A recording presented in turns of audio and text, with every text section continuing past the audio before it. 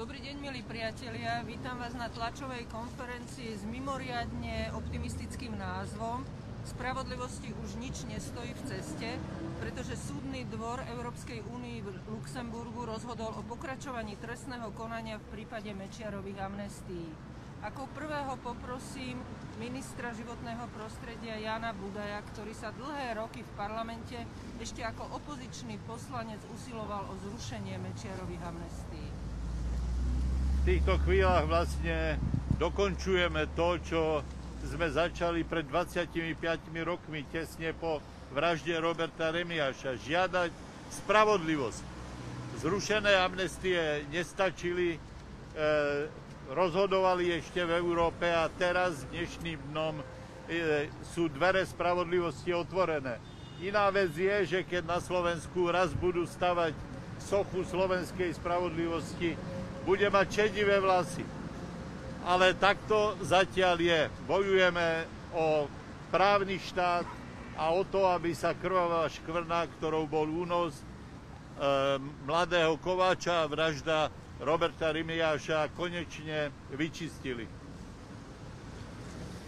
Ďakujem pekne. Poprosím predsedu hnutia Olano, a, ja by som dal prednosť určite pani Remiašovu. Ja by som pani Remiašovu nechala na záver, ak dovolíte. E, pán Matovič, čo podľa vás znamená toto rozhodnutie a čo vôbec znamená pre Slovensko, že doteraz neboli právoplatne odsudení ani e, vykonávači únosu a ani vykonávači vraždy Roberta Remiaša a ani tí, ktorí toto všetko naplánovali?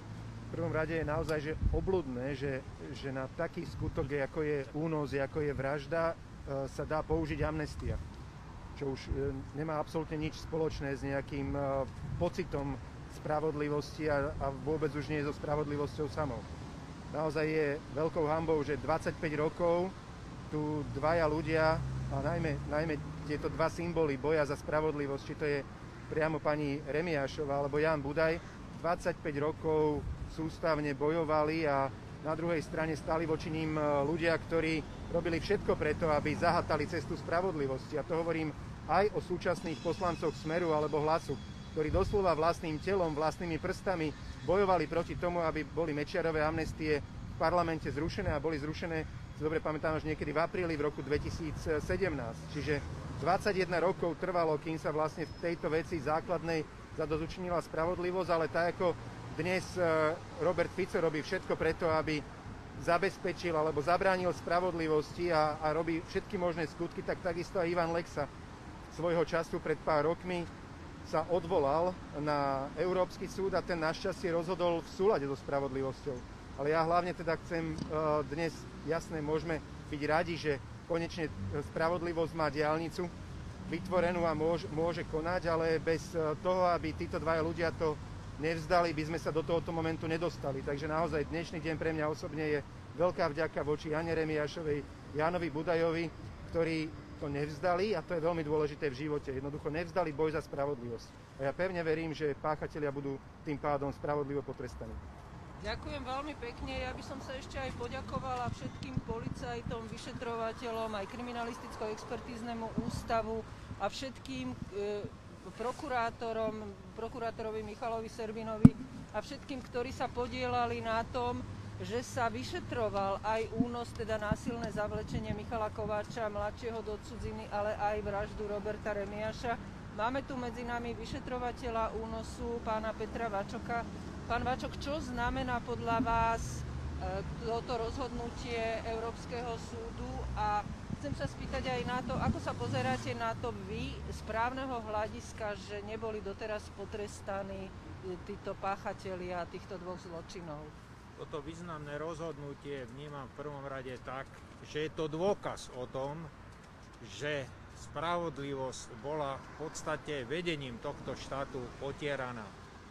Ja osobne zastávam názor, že nejde len o nejakých vykonávateľov, ale sa pýtam, kde bola prokurátora v tom čase? Ktorá bola garantom ústavnosti a zákonnosti? Kde bolo vedenie ministerstva vnútra? Títo ľudia vôbec doteraz nie sú postihnutí, dokonca ani politicky. Mnohí z, policie odišli s tými najvyššími e, benefitmi, aké sa mohli dať a žijú si bezstarostným životom. Viete, mňa neuspokojuje, aby sme sa teraz len e, pozerali na to, ako bude odsúdených pár chlapcov, ktorí mali vtedy 22 rokov a dneska sú to už starí chlapi. Ale nikto sa nepýtal tejto spoločnosti, prečo prokuratúra zametala spravodlivosť pod pokličku a prečo tí, ktorí boli zodpovední, dneska ešte sedia na významných funkciách. To je všetko, čo môžem k tomu povedať. Ja sa ospravedlňujem za tieto stiesnené pomery a za tú zimu, ktorú tu máme, ale sme na mieste, kde vybuchlo auto Roberta Remiáša, najlepšieho priateľa korunného svetka únosu Michala Kovača mladšieho. A e, Robert Remiáš, ako všetci veľmi dobre vieme, tu 29. apríla 1996 zahynul práve preto, že nepovedal, kde sa Oskar Feďvereš e, nachádza a aby ho teda mohli nejakým spôsobom buď prinútiť, aby zmenil výpoveď alebo nejak inak zastrašiť. Máme tu podľa mňa najväčšiu obeď e, týchto zločinov, e, pani Annu Remiašovu, ktorá v súčasnosti je poslankyňa Národnej rady Slovenskej republiky. Hanka, prosím ťa, ako sa ty pozeráš na toto rozhodnutie a vôbec čím všetkým si musela prejsť?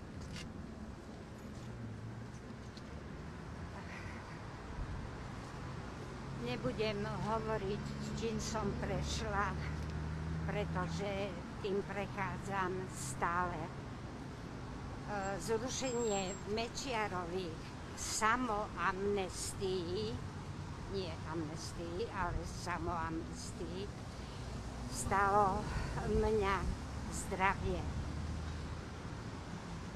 I veľmi ťažko počúvam, sedím v parlamente a počúvam ľudí, ktorí vyše 12 rokov vlastne chránili tohto zločinca, tým pádom sa stali spolupachatelia, pretože dlho e, boli proti tomu, aby sa zrušili tieto samoamnestie.